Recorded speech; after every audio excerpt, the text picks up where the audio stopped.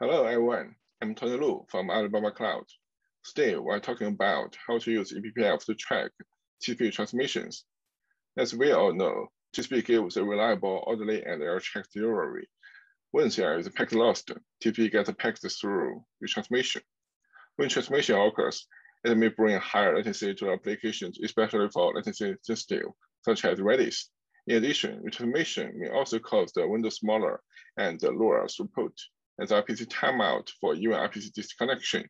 In general, the retransmission is an important negative indicator used to indicate the quality of TCP because retransmission can be easily obtained and the retransmission indicator is negative, passive, and slow path indicator. However, only focus on transmission is limited in the real environment. For example, as shown in the picture on the left, we use DPDAG to get the details. We can know the details, but performance overhead is massive.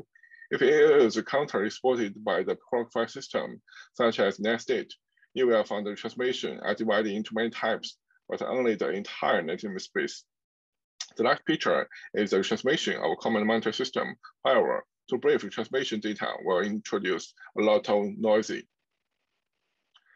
We also found out that not all transmission we need to be care. Retransmission need to be classified at least from transmission type, process, and connections. For example, uh, for transmission types, we know that the RTO is the most original and the last method to recover lost packet. However, the TCP stack introduced the TLP early trans and fast retrans to avoid retransmission for back to RTO. The above avoid an impact on the application only RTO transmission will cost the minimal latency of 200 milliseconds. Secondly, different program may be running on machine, and we usually don't care about the processes, such as SSH. Finally, transmission is more likely to occur in the internet. Sometimes the internet is not sensitive to latency. Of course, overhead is also important.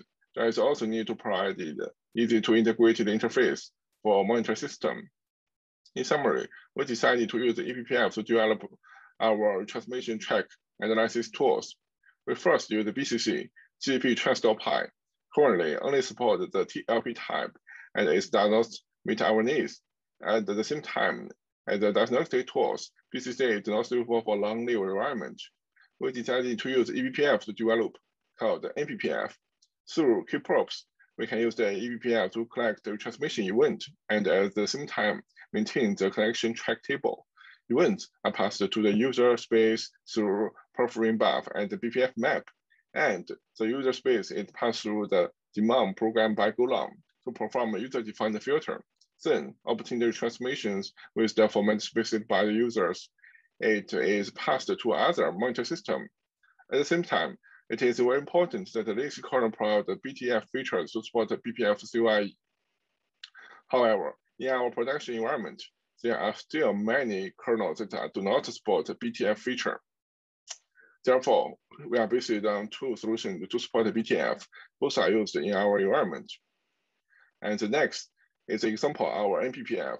On the left is the YAML configuration file of MPPF. Each collection will be defined as a job.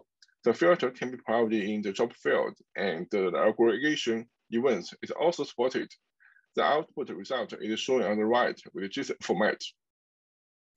Next is the MPPF data, which collects through the monitor system, and data is reduced by five times with the RTO data. And the next, the data in the picture above is from the PMesh. At the time shown in the bar figure, there was a problem on the where, and the PMesh tools can detect the problem, and the MPPF can also do that we can find the problem based on the passive detection mode of TCP RTO with the slower, with the lower overhead and cover the real data traffic paths. Finally, we still have a lot of to do with the transmission, including uh, reduce the overhead with raster refactor. Next, we will compile the filter rules into BPF code and uh, execute it in the kernel. Finally, in the new kernel, we need some new, new handy trace points at the same time, it's not only limited to transmissions. TCP packet loss latency trace tools we are also developing. Finally, if you are interested in the project, you can follow SIG open source is planning. Thank you all for listening to my topic. Thanks.